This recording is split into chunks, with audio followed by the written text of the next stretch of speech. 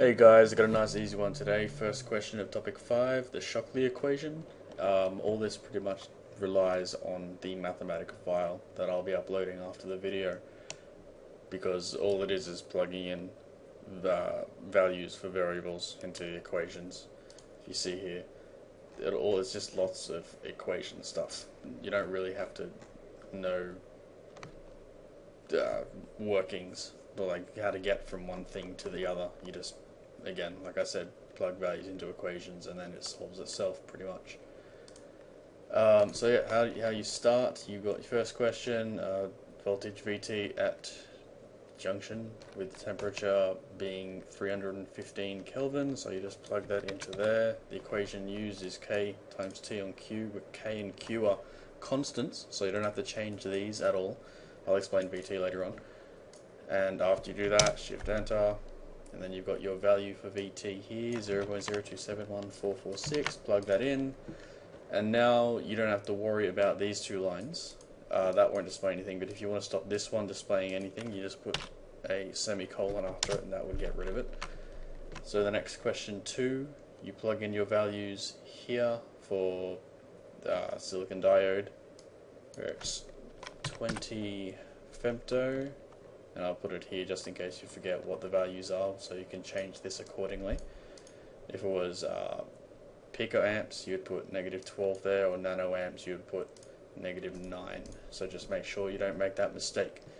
Uh, the, the, emission coefficient which mine is 2 the voltage across, voltage across the diode which is 1.3965 for me and here where it says VT is assumed 26 uh, microvolts. That never changes.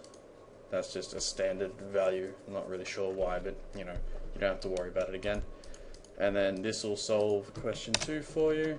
0.0092176. You can don't have to put the whole thing. You can round it, but I just like putting it for the sake of it. Uh, now, question three works a little differently. Oh, sorry, question four does. You don't have to worry about question three at the moment. Just change that to negative 43. And what this will end up doing, I think it rounds to your saturation current.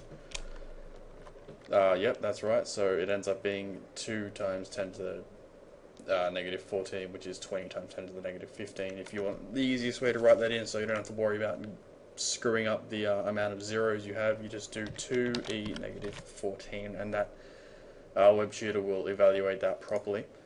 Uh, this next question is a little bit of a, it's not so much a tricky one, it's just, if I don't explain it, you'll, if you're not, you're not used to Mathematica, you won't really know what to do. Uh, basically, what this line does, that it, it solves um, a particular thing, in, in, it's a pretty straightforward thing, I would get the same answer. Um, for ID if I just got rid of the solve section, but I've left it in for the sake of this question. The following variable here is what you want to solve it for. So if you do VD there and comment out this line, no, really, you don't have to do that, you can just change it in here, V little d if you want probably makes it easier. And then our ID given is 945 microamps and power up, power negative 6. And then that will evaluate our VD, which is uh, 1.27809. If you go to try that,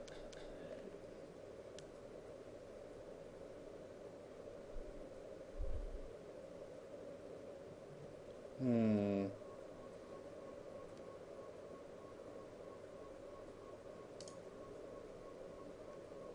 Negative 20? Did I misread that one? Hang on, sorry guys. Uh, I am an idiot sometimes. Should probably double check these things. Yes, it was negative. So yeah, just make sure keep that in mind as well. And then there you go. I'm gonna I'll do another one for the sake of a nice smooth run, so you don't get confused with my mistake there. And so yeah, I'll I'll use this as an example to show you that VT never changes. it'll always be 26 millivolts, so don't have to worry about that. Get a nice weird number for K390, alright.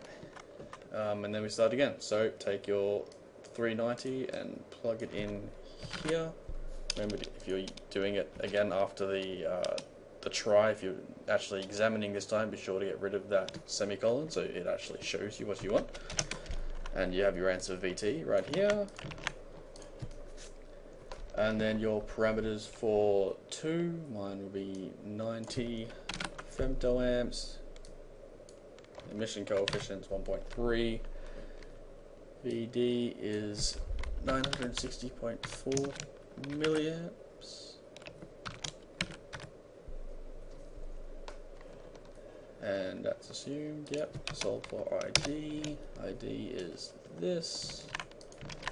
And then change this to minus 47, and we get negative 9, so make sure we put negative this time, negative 9, here need 14.